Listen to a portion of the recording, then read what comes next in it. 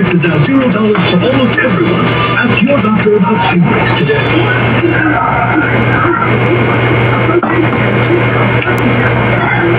Thank